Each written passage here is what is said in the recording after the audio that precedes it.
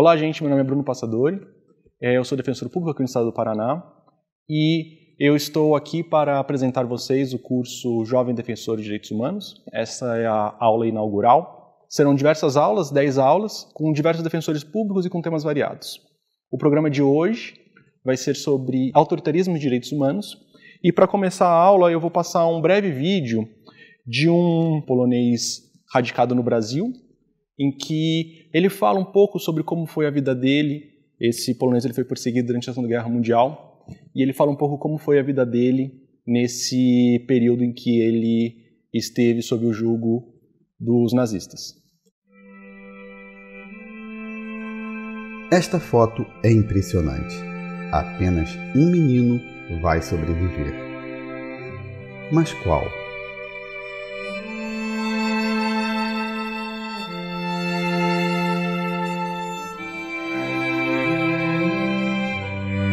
Escola toda, não é só essa classe onde eu saí no retrato, mas a escola toda foi levada a, ao campo de extermínio e foram todos terminados. Único sobrevivente de uma escola foi eu.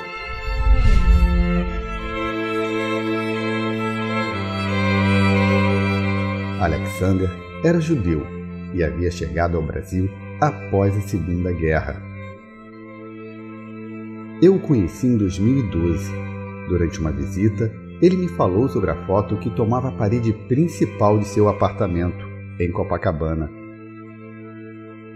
Alexander só veria a foto 64 anos depois de posar com os amigos, e foi por acaso ao visitar Lodz, o lugar onde nasceu na Polônia. Quando cheguei à Polônia, em 2004, foi lá recebido pelo prefeito Aí ele me ofereceu um carro com um que trabalha na prefeitura e esse rapaz que me conduzia perguntou o que, que você fez no gueto de Londres. Ele disse, primeiro estava numa escola e depois fui trabalhar como metalúrgico. Ele disse, numa escola aonde? Eu disse no nome da rua, Franciscanska. Ele disse 29, eu disse 29 que lá está lá o lugar. A escola não está mais lá, mas tem gente morando lá, mas o lugar está. Quer ir lá? Se quero. De repente ele encostou o carro, puxou uma xerox e me mostrou. Olha aqui, você não é você? Era eu.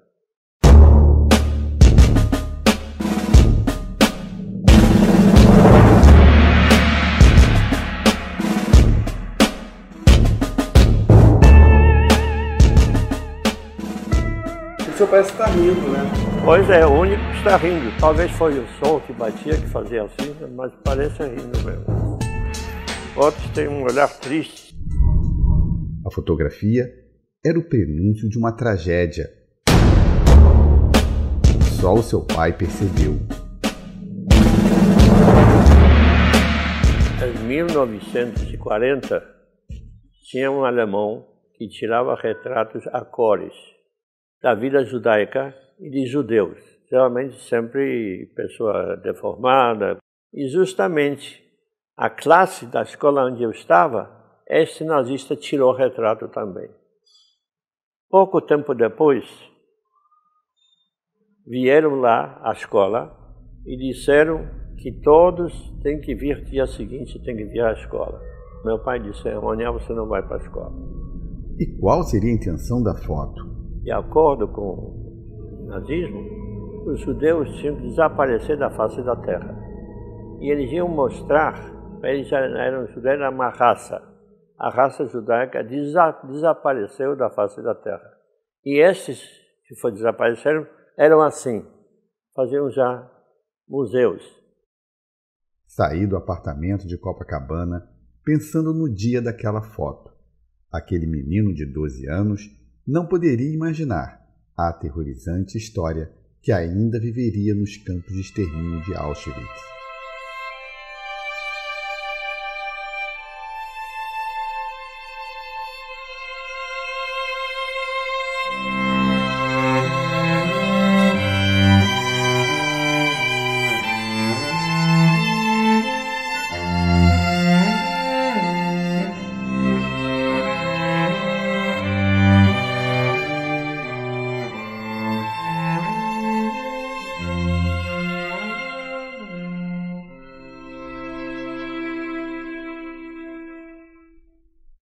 Vocês podem ver, essa foto ela representa sobremodo o período ocorrido durante a ascensão do nazismo e de diversos totalitarismos na Europa na primeira metade do século XX. Essa foto ela apresenta um grupo de judeus que estão num campo de concentração e a maneira como eles eram tratados. O nazismo ele trouxe um momento muito delicado para a história humana. Ele demonstrou que tudo é possível. As pessoas elas poderiam ser tratadas como simples objetos e a vida humana ela foi totalmente desconsiderada. Alguns números são bastante alarmantes acerca do que ocorreu na Segunda Guerra Mundial. É, há alguns dados que indicam que cerca de 18 milhões de pessoas foram levadas aos campos de concentração e a grande, a massiva maioria delas foram assassinados. E desse número, uma grande quantidade de pessoas eram oriundos de comunidades judaicas. Há um documentário muito interessante sobre o tema que se chama Touched by Auschwitz. É um documentário que está no Netflix e o qual eu recomendo sobremodo que vocês assistam até para você ter, para vocês terem uma ideia do que ocorreu nesse momento político internacional bastante difícil. Esse momento, a, a perseguição de populações através do sistema político da Alemanha nazista, ele se deu é, com uma clara tolerância de diverso da, da comunidade internacional. É, como vocês já devem ter visto nas suas aulas de história, a ascensão do nazismo se deu através de um, uma política, uma política de, de empoderamento desse grupo.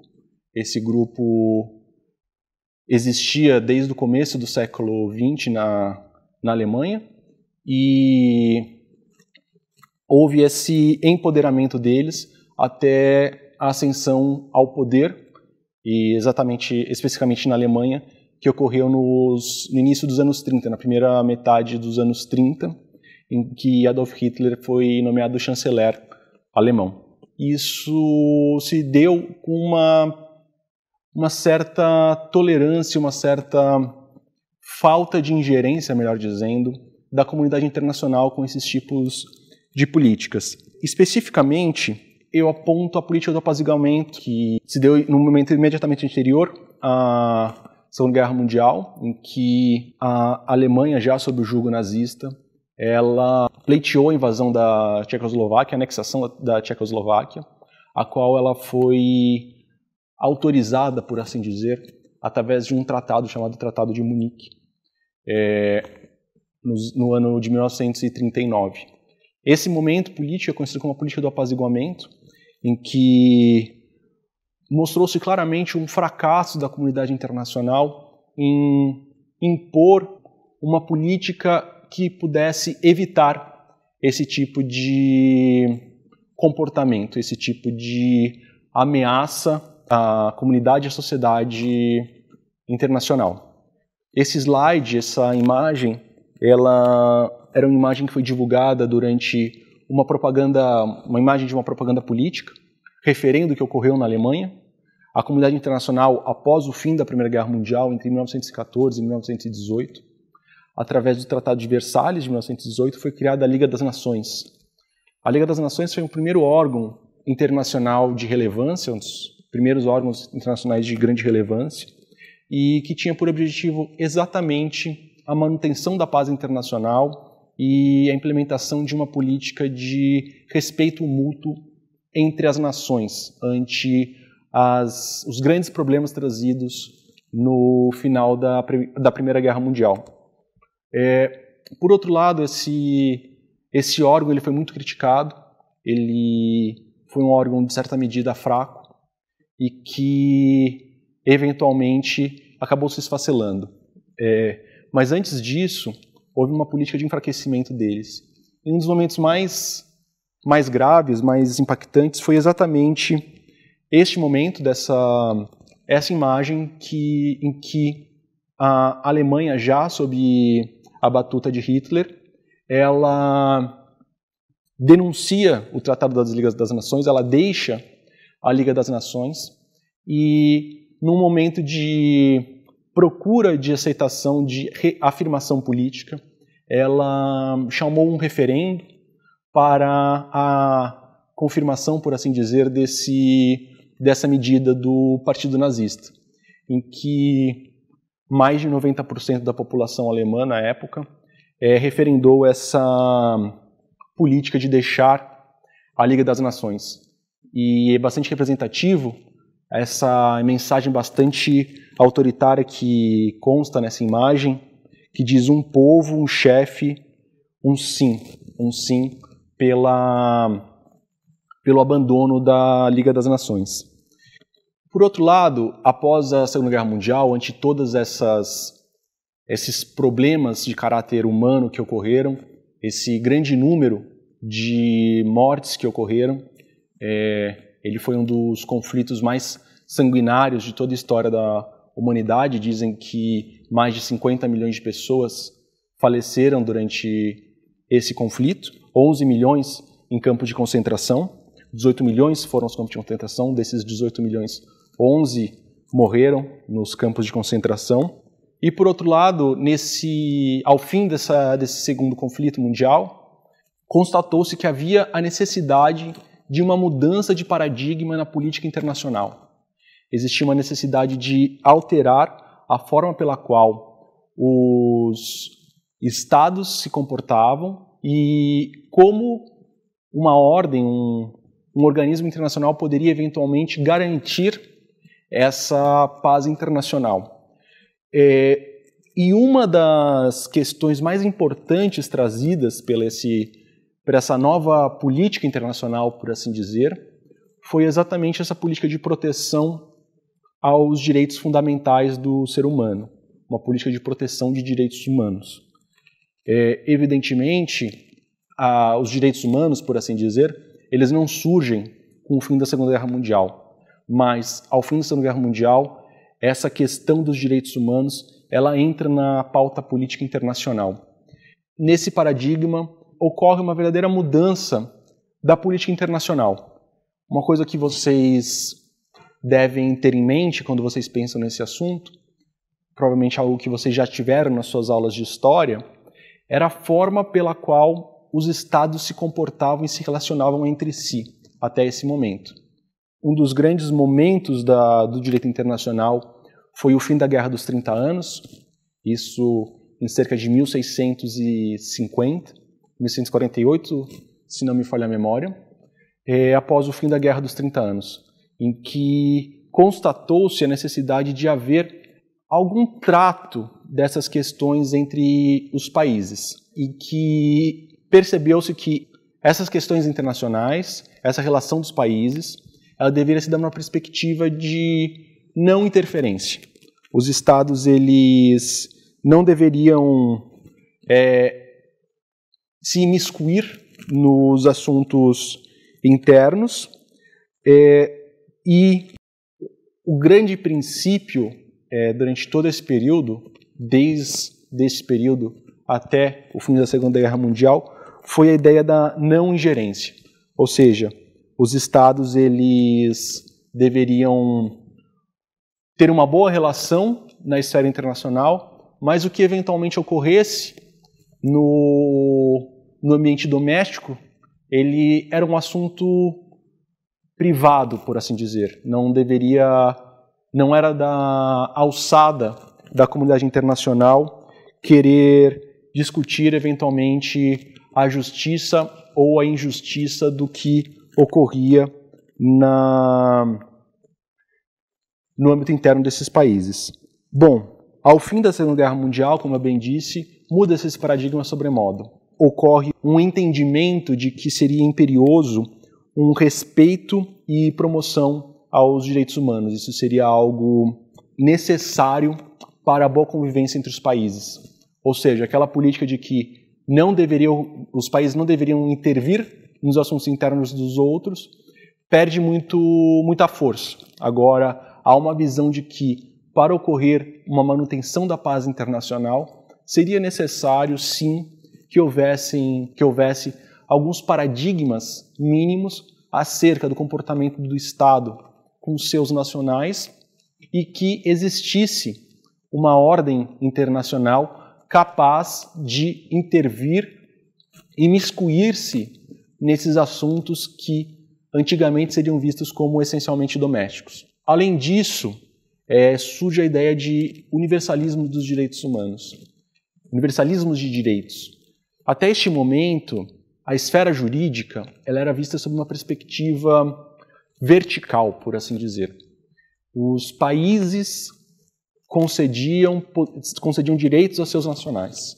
Existia um determinado país, a França, através do seu código, o Código Napoleônico, conferia direitos aos seus nacionais. É, por outro lado, ante essas mazelas e essas graves violações de direitos que ocorreram durante a Segunda Guerra Mundial, mudou-se também essa visão. Passou-se a ver como a centralidade do sistema político não mais o Estado em si, mas o ser humano. Isso seria uma das grandes balizas da mudança de visão política que tornou possível é, a ascensão da democracia em todo o globo. Há essa visão de que os direitos eles são inerentes ao ser humano. O direito ele não é uma concessão do Estado. Os direitos das pessoas nascem, elas surgem com esses direitos e a partir desse paradigma há uma possibilidade muito maior de intervenção. Ou seja, quando ocorrem esse quando não são respeitados esses direitos já percebidos pela comunidade internacional, seria possível uma atuação positiva da comunidade internacional em prol da observância e da garantia desses direitos. Aqui eu trago alguns dispositivos de tratados internacionais para que vocês possam perceber essa questão. Ali no primeiro momento eu trago um dispositivo da Carta de São Francisco. A Carta de São Francisco ela foi o documento internacional criador da ONU. A ONU ela foi uma evolução da Liga das Nações.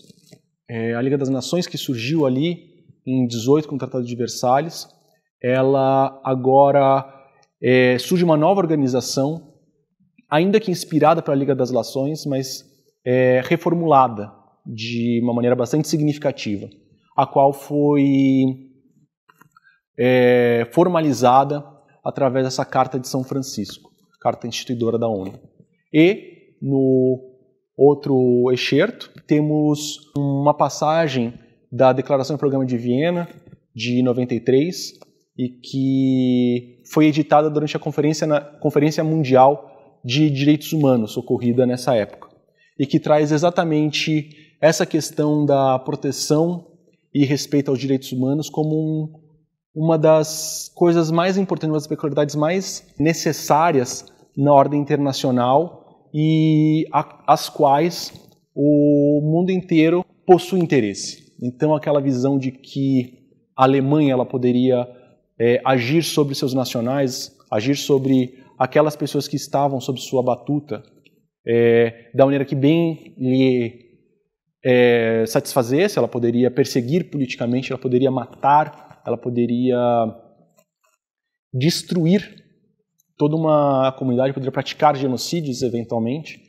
É, essa, essa questão fragiliza-se sobremodo. Então, agora, nesse momento de uma mudança de paradigma de política internacional, há uma visão de uma possibilidade de ingerência do, da ordem internacional nos países, na ordem doméstica dos países, ao dessa visão de que direitos humanos são inerentes ao ser humano.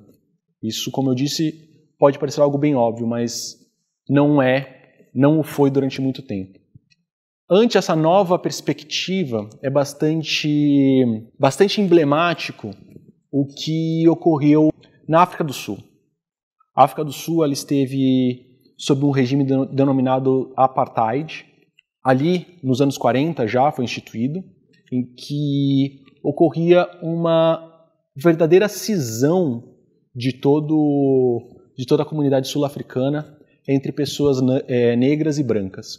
Então existiam é, serviços públicos específicos para pessoas brancas, serviços públicos específicos para pessoas negras bairros em que só seriam possível a residência de pessoas brancas, bairros em que só seria possível a residência de pessoas negras e, evidentemente, com um claro prejuízo para a comunidade negra, em que essas pessoas eram submetidas a serviços públicos piores e, inclusive, chegou-se ao ponto de a própria nacionalidade sul-africana ela ser mitigada para os negros.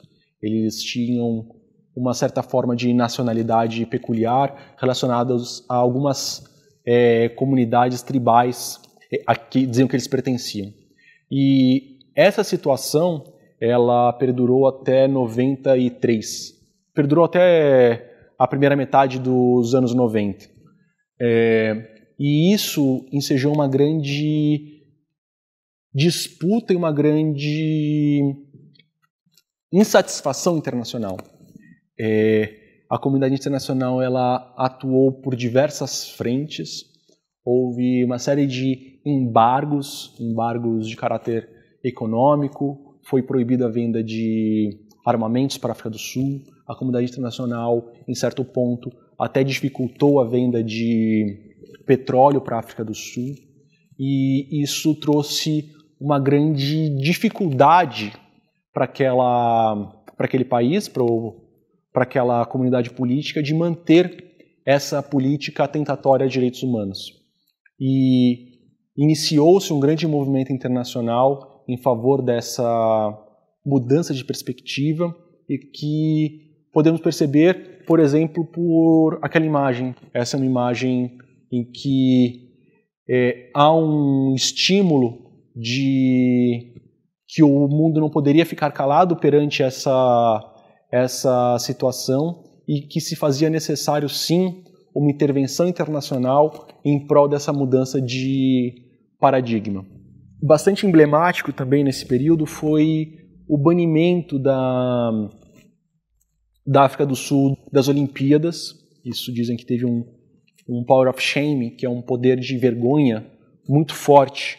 Power of shame seria não exatamente uma intervenção mani-militar, uma intervenção de caráter forçado militar no país, mas um, uma política de mais ou menos apontar o dedo perante aquele país e falar você está errado, quase como um, um bullying internacional, por assim dizer. É, e isso teve um, um papel muito relevante para o fim dessa, dessa situação política. Como o Poder Judiciário pode agir para evitar governos autoritários? Essa é uma questão bastante peculiar, uma questão que não é de simples resposta, mas eu acho que vale a pena trazermos alguns paradigmas para a discussão sobre o tema. O que eu acho dos mais relevantes foi uma decisão da Corte Constitucional Alemã no recurso 39 334, é, em que se discutia exatamente a ascensão de a cargos públicos de pessoas consideradas radicais.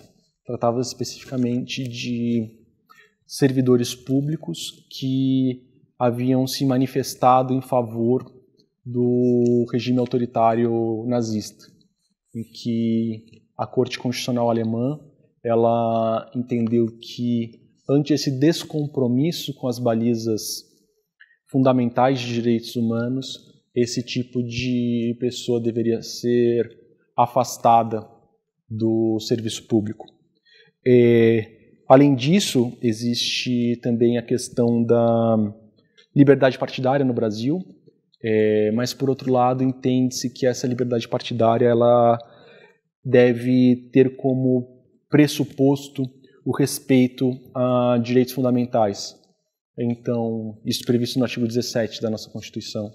Então, a rigor, é possível que haja a suspensão ou até mesmo banimento de um partido político com um viés absolutamente autoritário.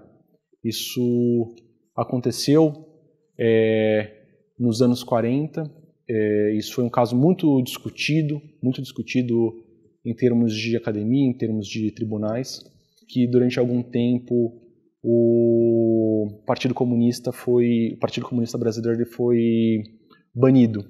Isso não estou dizendo que foi num período autoritário, estou dizendo que isso foi num período pós pós ditadura getulista e antes da, do golpe militar de 64.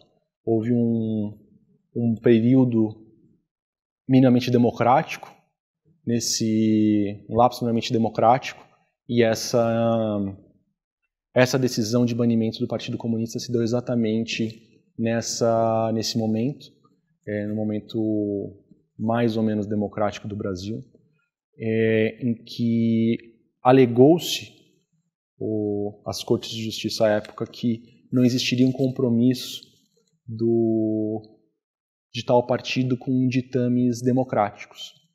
É, por outro lado, como eu disse, isso foi uma decisão que foi muito criticada e ainda criticada hoje. Mas, de todo modo, como eu disse, existe sim é, formas de controle é, desse tipo de comportamentos políticos que possam abrir espaço para totalitarismos. E nessa perspectiva, é sim possível que haja uma intervenção para obstar esse tipo de política, esse tipo de comportamento. Eu trouxe uma sugestão de atividade para vocês depois discutirem em sala ou com colegas, é, exatamente nessa perspectiva do que acabamos de discutir hoje. É, como poderíamos analisar, como poderíamos é, discutir a questão da paz de Westfália, aquela questão da não intervenção em assuntos domésticos, é, e a política do apaziguamento pré-Segunda Guerra Mundial, em que, como eu disse, houve essa tolerância da comunidade internacional com esse movimento autoritário que estava ganhando bastante força em solo europeu. E, por outro lado, analisar essa perspectiva e sobre o viés da internalização e da universalidade de direitos humanos, e especificamente sobre a atuação da comunidade internacional no caso do apartheid sul-africano. E por fim, eu deixo uma referência de estudo que eu recomendo que vocês assistam, um documentário Touched by Auschwitz, que está disponível no Netflix. Então, estamos encerrando estamos encerrando essa primeira aula. Eu gostaria de agradecer muito a atenção de vocês. E só para concluirmos, só para repisarmos o que foi discutido Neste momento, nós, eu procurei discutir um momento político de uma não intervenção internacional sobre assuntos internos, o como que essa política de não intervenção favoreceu autoritarismos, como essa política de não intervenção favoreceu uma série de violações de direitos humanos e como que ante a constatação dessas dificuldades, dessas fragilidades, dessas desses graves crimes que ocorreram, como que a comunidade internacional percebeu que seria necessário uma mudança de paradigma, colocando o ser humano na ordem do sistema jurídico e percebendo sim que a comunidade internacional deveria intervir nesses casos, em casos de violações de direitos humanos, reconhecer esses direitos humanos também através de uma série de declarações e de como que isso foi bastante paradigmático, por exemplo, na África do Sul. Muito obrigado.